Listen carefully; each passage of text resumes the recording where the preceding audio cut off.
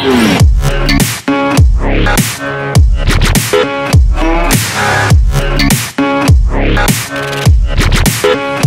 been a real bad boy on the town all night.